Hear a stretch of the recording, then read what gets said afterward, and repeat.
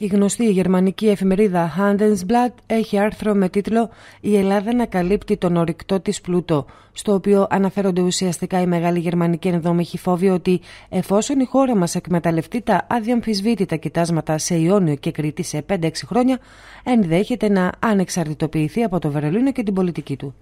Αυτή είναι η πάσα αλήθεια για τους Γερμανούς που πάντα είχαν, έχουν και θα έχουν καλύτερες σχέσεις με τους Τούρκους γείτονές μας. Η γερμανική εφημερίδα αναφέρει ότι η ελληνική κυβέρνηση διαφοροποιεί τον ενεργειακό της τομέα και επιταχύνει την ανάπτυξη των ελληνικών κοιτασμάτων πετρελαίου και φυσικού αερίου. Ο πόλεμος στην Ουκρανία αναγκάζει την ελληνική κυβέρνηση να αλλάξει τακτική. Το γερμανικό οικονομικό έντυπο σημειώνει επίσης ότι το 2021 η Ελλάδα κάλυπτε το 50% των αναγκών της σε φυσικό αέριο και το 36% των αναγκών της σε πετρέλαιο από τη Ρωσία. Όμως τώρα η ελληνική κυβέρνηση επιδιώκει να διαφοροποιήσει τον ενεργειακό τομέα και να επιταχύνει την ανάπτυξη των ελληνικών κοιτασμάτων πετρελαίου και φυσικού αερίου.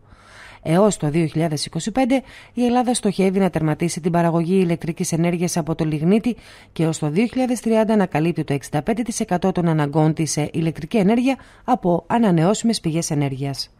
Το θέμα εδώ είναι αν θα υπάρξουν ευκαιρίες για κάτι τέτοιο, δεδομένη της απότομης αύξησης των τιμών του φυσικού αερίου. Αυτό φαίνεται απίθανο για τη χώρα μας. Το σχέδιο εκμετάλλευσης των ελληνικών κοιτασμάτων θα φέρουν Γαλλία και Ελλάδα ακόμα πιο κοντά.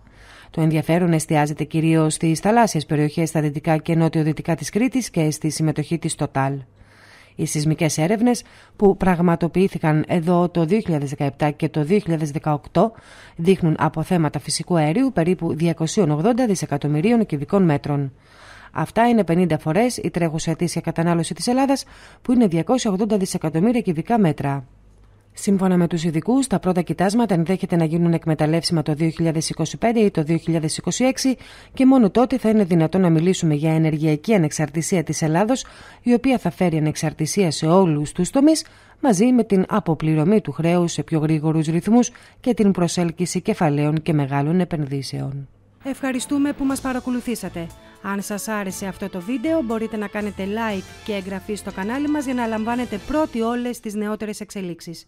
Μην ξεχνάτε να μας κάνετε σχόλια με την άποψή σας, καθώς η γνώμη σας είναι πολύ σημαντική για εμάς.